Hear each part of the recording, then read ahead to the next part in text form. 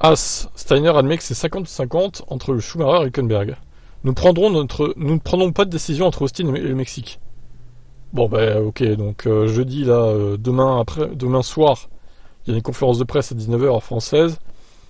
Donc j'imagine qu'ils vont pas annoncer le pilote, sinon c'est un menteur, Steiner. Donc c'est toujours 50-50 euh, entre Mick et un autre pilote. Alors, du coup, il ne précise pas que c'est Hülkenberg le pilote.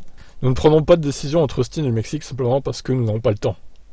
La prochaine, possibilité serait après le Mexique, car nous aurons plus de temps pour régler ça.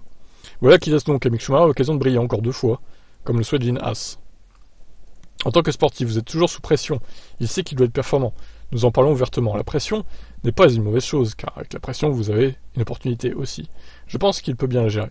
Nous sommes revenus du Japon dans le même avion, et il était plutôt de bonne humeur. Il a grandi dans une famille de coureurs, et il sait de quoi il s'agit. Ça fait partie de son travail.